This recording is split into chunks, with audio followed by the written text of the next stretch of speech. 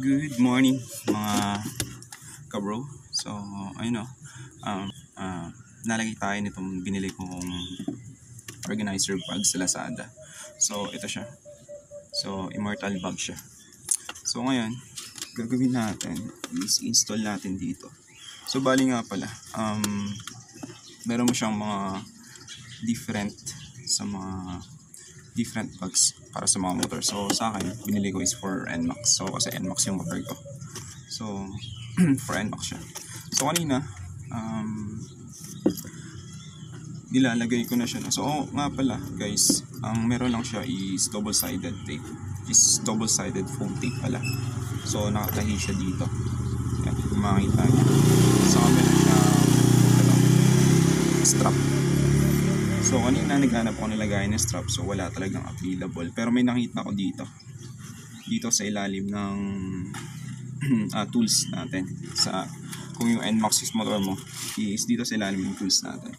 So, bale, guys, um, meron din ako available dito na foam which is uh, lalagay natin dito. So, para lang consistence, no? so, lagyan na optional lang naman to kung gusto mo maglagay. So ako, uh, gusto ko lang maglagay para consistent yung um, yung bag niya. So wala naman ako planong tanggalin siya. So kaya naglalagay ako ngayon.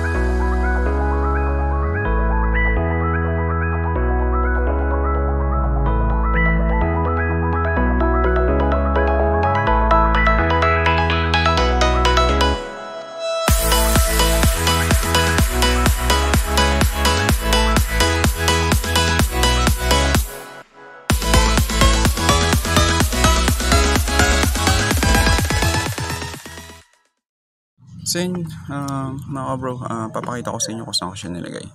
So yan siya no. Saan nilagay ko siya yung stop dito. Sa ilalim ng tools niya. Ayan. Ikot ko lang ng dalawang pesos para humipit siya. So yun lang guys. Thank you so much.